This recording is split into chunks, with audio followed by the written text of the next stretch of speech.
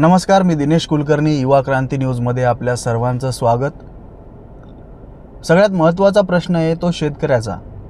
कारण आपण पाहिलं की गे काही महिने झालं शेतकरी हा बऱ्याचशा संकटातून बाहेर पडला आहे त्यापैकी आपण पाहू शकतो की काही महिन्यापूर्वी हिंगोली जिल्ह्यामध्ये मुसळधार ढगपुटी सदृश्य पाऊस झाला होता.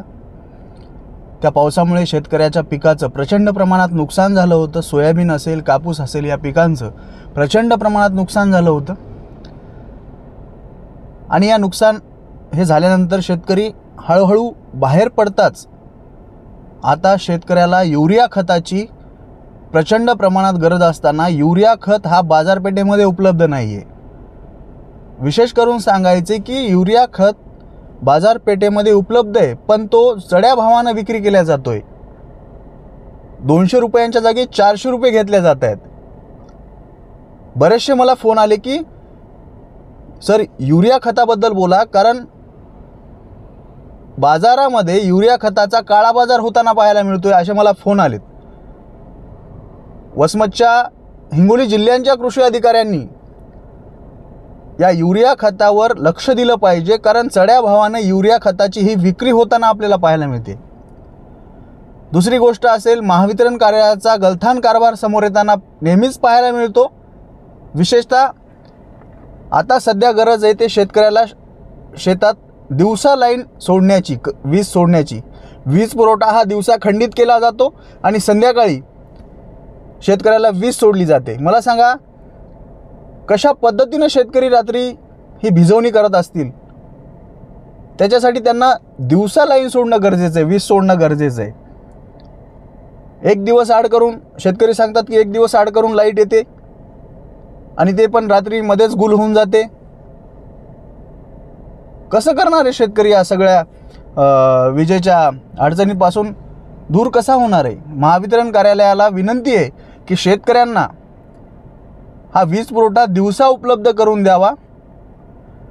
कारण रात्रीच्या वेळी शेतकरी शेतामधलं आपलं पीक हे भिजवण करताना त्यांना मोठा संकटाचा सामना करावा लागतो. अक्षरशः काही काही ठिकाणी आपण बघतो की रात्री शेतकरी भिजवण करत असताना विषारी साप असे शेतकऱ्यांच्या शरीराला स्पर्श करून जातात. त्यामध्ये शेतकरीसुद्धा दगावू शकतो. मला फोन आले की सर तुम्ही युरिया खताबद्दल आणि विजेच्या प्रश्नाबद्दल बोला कारण रात्री एक दिवस अडकरून ल- वि महावितरण कार्यालय हे वीज पुरवठा शेतकऱ्यांना उपलब्ध करून देत आहे आणि त्यांच्यामध्ये त्यांची भिजवणी पण होत नाही आहे कधीकधी मध्ये तर रात्री पण लोडशेडिंग चालू होत आहे अशा शेतकऱ्यांचं म्हणणं आहे.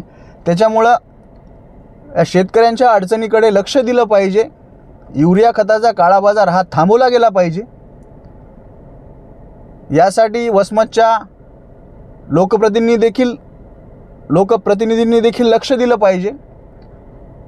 शेतकऱ्याचा प्रश्न महत्त्वाचा आहे कारण आपल्या सगळ्यांना जगवणारा शेतकरी हा अडचणच अडचणीत सापडला. तर आपली भूक कोण भागवणार? हा मोठा प्रश्न आहे. त्यामुळे शेतकऱ्यांनी महावितरण कार्यालयांनी असेल कृषी कार्यालयांनी असेल या शेतकऱ्याला या युरिया खताच्या आणि विजेच्या प्रश्नापासून दूर ठेवू नये आणि शेतकऱ्यांना लवकरच युरिया खत हा योग्य भावात कृषी अधिकाऱ्यांनी उपलब्ध करून द्यावा.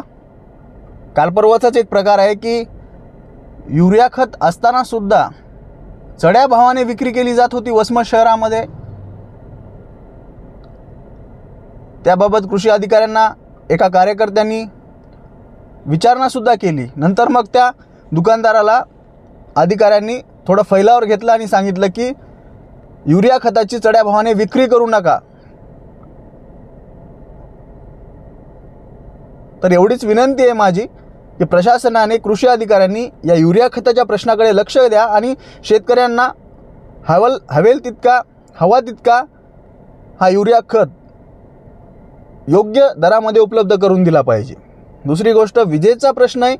शेतकऱ्यांना दिवसा वीज पुरवठा केला तर अत्यंत चांगल्या प्रकारे त्यांना त्यांचं भिजवण करता येईल शेतातील पीक योग्य त्यांच्या अडचणीनुसार सोयीनुसार त्यांना भिजवण करता येईल. त्यामुळे लाईटचा विजेचा विजेचा आणि युरिया खताचा हा प्रश्न मोठा आहे. त्यामुळे प्रशासनाने याच्याकडे लक्ष देणं गरजेचं आहे.